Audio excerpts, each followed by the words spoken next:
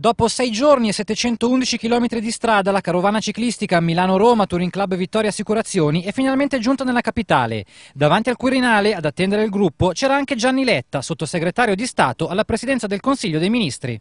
Come si gode il paesaggio, i monumenti, le bellezze naturali dalla bicicletta, certo non si può fare né dalla macchina né dal treno né dall'aereo. La velocità è nemica della riflessione e del poter gustare quello che invece dalla bicicletta si può gustare. L'iniziativa del touring secondo me assume un significato ancora più importante perché è tesa non soltanto a riscoprire la bicicletta e a promuoverla e questo decalogo certamente è uno strumento utile per farlo, ma anche a valorizzare le bellezze del nostro paese, a richiamare gli italiani all'amore per la natura, per il paesaggio, all'amore per le cose belle.